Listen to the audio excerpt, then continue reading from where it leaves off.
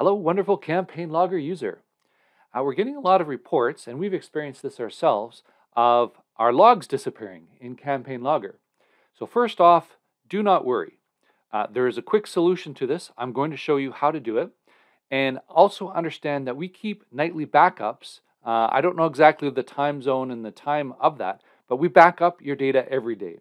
So, like worst case scenario, the ultimate disaster, you will have lost one day's worth of data. Now, I don't like it if I lose even a five minutes of data, um, but it's better than having, you know, we, we take care of your backups for you. It's better than losing all of your data.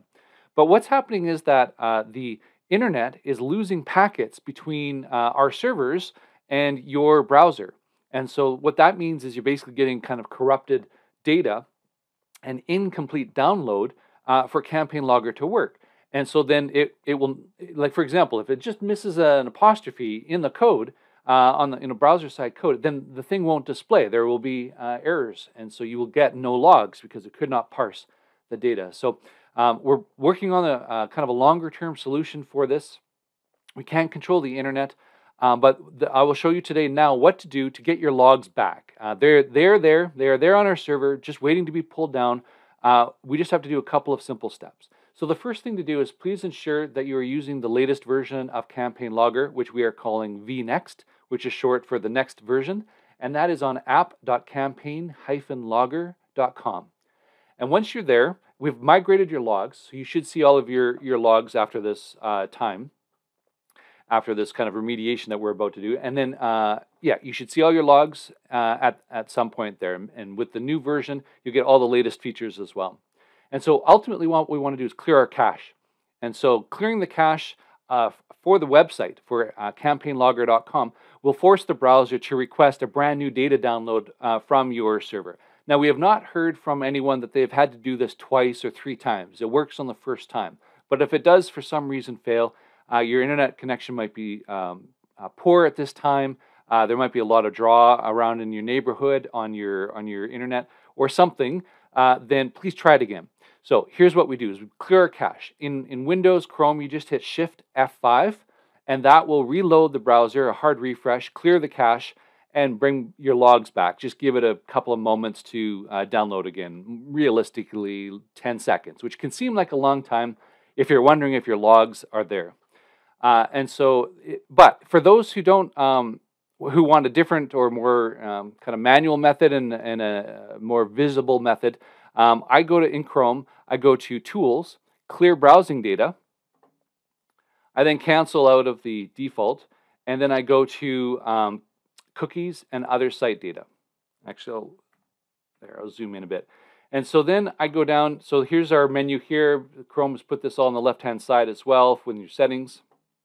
I go to um, See All Cookies and Data right here. And this will bring up all my cookies. And then I just start typing campaign hyphen. I could type in logger. Anyways, it will just dynamically uh, show you what cookies and cache that you have.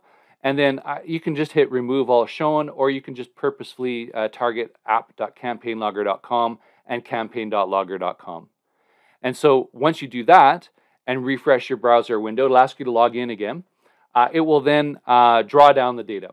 The other thing that you can do uh, if you have kind of garbly data or some kind of error is uh, click the top right button here, uh, and then it will um, also perform a similar trick. Uh, it's just, um, I've never had an, a failure when someone has tried the clear cache thing.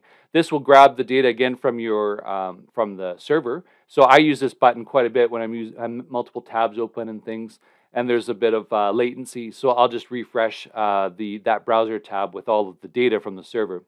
But uh, it does not re-download the entire application into your browser, uh, which a hard refresh will. Now the other thing, like you might not have uh, Windows and you might not have Chrome. So what I do is uh, just Google your scenario, like what OS you have and what browser you have, and then clear cache. And then Google will show you the steps, uh, basically outlining them in the search results themselves. So Mac Firefox Clear Cache, here's the steps here with a link uh, for more detail. Here's one for Mac Chrome Clear Cache, the steps with a link to more detail. Last example, Windows Firefox Clear Cache, same thing. So just uh, do that. I hope this helps. Uh, I apologize for the panic. I wish that uh, there was a different kind of architecture or solution where the data was just free flowing and not uh, have any kind of download issues. But we watched the packets uh, go missing as we want monitor network traffic uh, in our environments. And uh, yeah, for some reason, uh, occasionally things uh, get missed in download, and a refresh will solve your problem. Apologies again for the panic and happy logging.